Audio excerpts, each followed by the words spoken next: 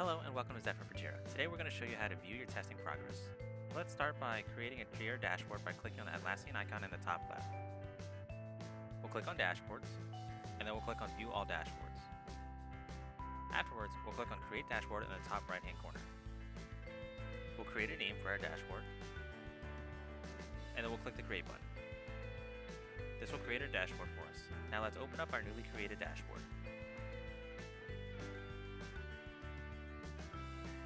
From here, we can add gadgets to help track our testing progress. We can add a gadget by clicking the button in the top right.